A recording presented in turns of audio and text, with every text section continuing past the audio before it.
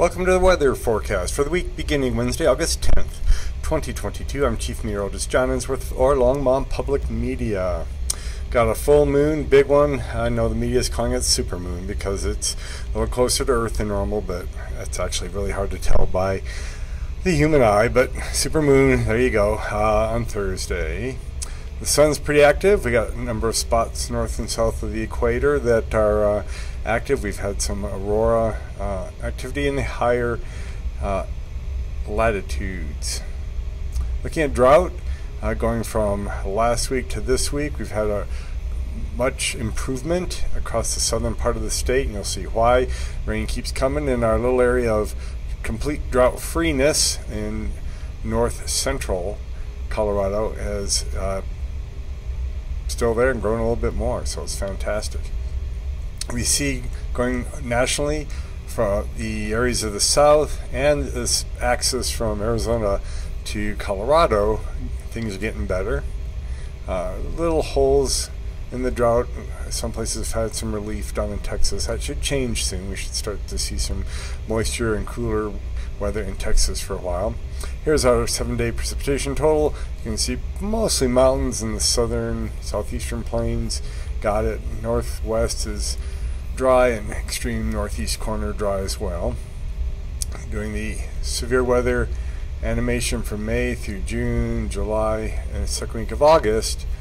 you can see we still have the possibility it's going to drop off quickly here, but we still can get some severe weather. We even had a marginal risk uh, one day this week with all the flooding that occurred. Looking at uh, storm chances and severe chances over the next four days, nothing on Wednesday, totally dry little chance right over the I-25 of some thunderstorm activity.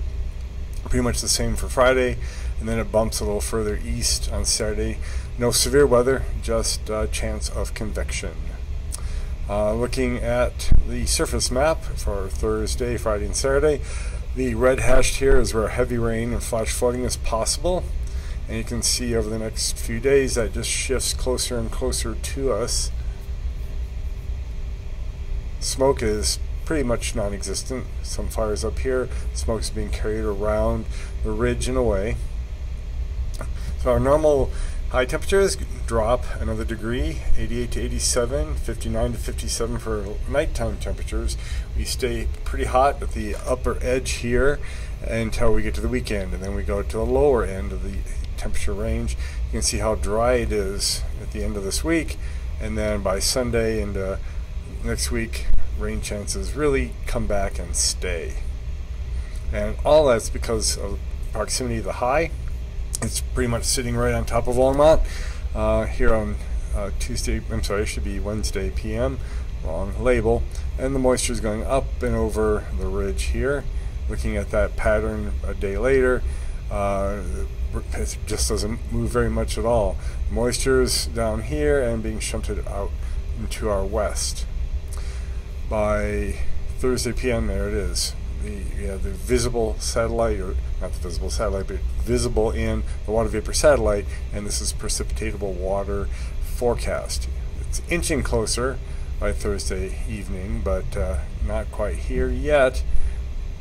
And then by Monday noon, we've got a ridge sitting over us, but the high center is over to Oklahoma. So we have a wide open uh, flow from the Gulf and the oceans. And here it comes. That should be a blue H. Uh, Monday, the thunderstorms are widespread rain every place. And then Wednesday, the pattern doesn't change much. It's still a river of atmospheric moisture over our heads and thunderstorms and rain in the afternoon. So let's take a look at in motion. Let's keep an eye on that ridge here for Friday, Saturday, just keeping us dry and then the south winds return on Sunday. The high center wobbles around Texas, Oklahoma, and just keeps on going. Here we into Tuesday, Wednesday, the next forecast period, and the high is down here in Texas, and we just have we have north flow for a little bit there, and then it's going to arc back around from the west southwest again. Again, summer temperatures don't mean too much other than it's abnormally cool in midday here because of the amount of moisture in the atmosphere. Then the thunderstorms blossom right after that. So cool, thunderstorms, nighttime. And then the moisture returns to us, so then the thunderstorms are falling uh, all over the place. Lots of coverage of clouds, showers, and thunderstorms into the middle part of next week. So the real map that matters is this precipitatable water, how much can be rained out of the sky. The browns are below normal and greens are above normal. Blue is even higher than that. So I like up in Wyoming, we've had some blue shading there. So that just stays entrenched through Tuesday, Wednesday, going into Thursday. There's a little dryness here. This is that north winds, a little backdoor cool front pushes the moisture back to the mountains. The western slopes never get out of it, and then it comes arcing right back over by the following weekend. And by next weekend, half of the nation out here, the west, is really moist. So here we go. Thunderstorms. You saw them in the temperature, the blossoming of thunderstorms and the cooling of the rain. So here's the actual future radar. You can see it's dry through Monday, and here it is, Monday afternoon pulse happens, crash all over the place. Here's Tuesday, thunderstorms all over the place, moving out into the plains. Wednesday, more to the south, southwest part of the state gets kind of suppressed a little bit late next week and then begins to come back for the following weekend. We'll do one more afternoon here. There you go. Thunderstorms in the eastern plains. So, next five days, the rain starts to return, but it's largely in the mountains here, a little bit on the Palmer Divide. But over the next 10 days, very significant amounts of water are building up in rain gauges. We got two, two and a half, three inches up in the mountains, in the central mountains, and even down in the southwest. So, fantastic.